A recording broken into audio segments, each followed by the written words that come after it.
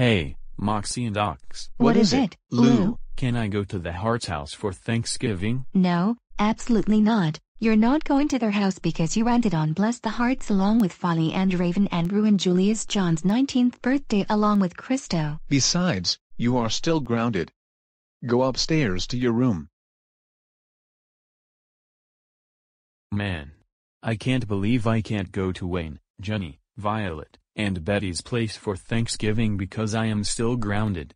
What I'm supposed to do. I know I'm going to bless the Hart's house and ruin their Thanksgiving.